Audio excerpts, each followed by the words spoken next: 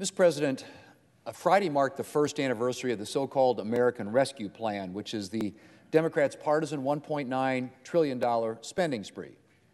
Now, fittingly, the anniversary arrived just one day after the release of February's inflation numbers, which marked the worst inflation since January of 1982. Mr. President, why do I say fittingly? Well, because the anniversary of the American Rescue Plan is basically the anniversary of our inflation crisis. While it's true that supply chain issues and the reopening of economies after COVID shutdowns created certain inflationary pressures, a big part of the reason for our current inflation crisis is Democrats' decision to pass the American Rescue Plan last March. Mr. President, the definition of inflation is too many dollars chasing too few goods and services. And that's exactly the situation Democrats helped create with their so called American Rescue Plan. Democrats came into office mere weeks after Congress had passed a fifth, fifth bipartisan COVID relief bill totaling almost $1 trillion and meeting essentially all current pressing COVID needs. Our economy is well on its way to a healthy recovery. And the majority of states had the money they needed to deal with the pandemic. In short, it was abundantly clear that we were not in immediate need of trillions more in government spending. But that didn't stop Democrats. Now that they were in charge, they were eager to take advantage of the COVID crisis to begin implementing their big government vision. And so, in the name of COVID relief, they pushed through a massive partisan $1.9 trillion spending piece of legislation filled with unnecessary spending and handouts to Democrat interest groups. Less than 9% of that $1.9 trillion spending bill was earmarked for actually combating COVID. The rest went to priorities like a $350 billion slush fund for states a bailout for union pensions, rental assistance far in excess of anything that was needed, and the list goes on. Despite being billed as essential COVID relief, a substantial portion of the money appropriated will not be spent until 2022 or later. And despite the pressing need for workers to fill the millions of available job openings, Democrats created incentives for Americans to stay on unemployment instead of returning to work by extending enhanced unemployment benefits until September of 2021, long after they were likely to be needed. And so the end result of all this was entirely predictable. Democrats flooded the economy with unnecessary government money, and the economy overheated as a result. And you don't have to take my word for it.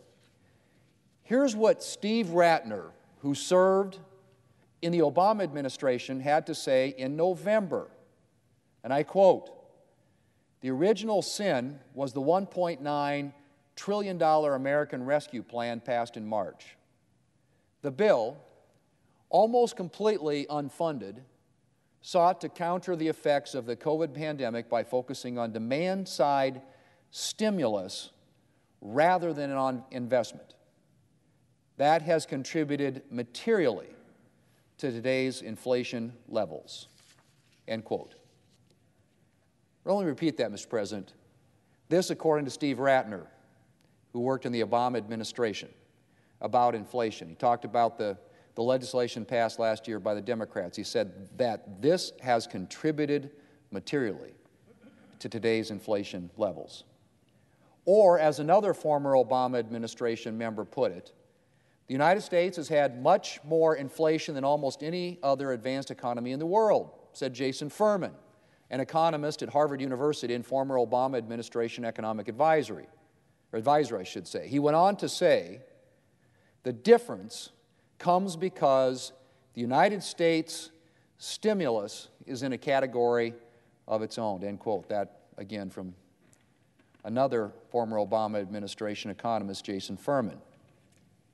Mr. President, inflation started to rise almost as soon as the ink was dry on the American Rescue Plan, and it just keeps rising. February 7.9% inflation marks the worst inflation since January of 1982. January of 1982, 40 years ago, and Americans are struggling. Just going to the grocery store is taking up a larger and larger portion of Americans' paychecks. Ground beef is up 13%. Eggs are up 11%. Citrus fruits are up 16%. Chicken is up 13%. Milk, up 11%. Bacon and related products are up 18%. And on and on and on. In fact, one American quoted in the New York Times noted that bacon is now as expensive as filet mignon used to be. Ordinary goods are starting to feel like luxury objects as more and more families struggle to afford basic grocery items. A Washington Post columnist noted that a number of the price increases recorded for February were the highest annual increases ever recorded for those items, including an 8.4% increase in the price of baby food and an 11% increase in the cost of lunch meat. Mr. President, in a speech to House Democrats last week, the President suggested that he was, quote, sick of people saying that Democrats' reckless spending had helped cause our inflation crisis. This is what the President said last week, President Biden. And I quote The American people think the reason for inflation is the government is spending more money. Simply not true, he said. Well, Mr. President, there are a lot of economists who would disagree with him, including the two Democrat economists I've already quoted. And President Biden himself actually admitted in November that his stimulus checks help increase the demand fueling inflation. I'm sorry that President Biden is sick of having people point this out. But you know who else is sick and tired of things, Mr. President? The American people. They're sick and tired of facing massive price increases everywhere they look. They're sick of increasingly having to live paycheck to paycheck as they wonder just how much further their grocery prices are going to go up. They're sick of wondering if they'll be able to pay all of next month's bills. And whether President Biden likes it or not, his so called American Rescue Plan is responsible for a substantial part of the economic distress that Americans are now experiencing. And while President Biden may be sick of it, we need to keep talking about this because the president is still, still trying to double down on the spending strategy that helped create this inflation crisis in the first place. Just two weeks ago, in his State of the Union address, the President discussed inflation and then outlined his hopes for massive new amounts of government spending. Spending that would unquestionably take an already bad inflation situation and make it even worse. It's nice that the President and congressional Democrats are now talking about our inflation crisis. But it would be even nicer if they would realize that it was their spending that helped trigger this crisis in the first place. Otherwise, we will continue to see Democrats push for ever bigger increases in government spending with correspondingly devastating price increases for American families. Mr. President, the American Rescue Plan was a bad deal for Americans. Let's hope that Democrats do not have the chance to double down on this legislation and make our current inflation crisis even worse. Mr. President, I yield the floor. I suggest the absence of a quorum. Sorry. Clerk will call the roll.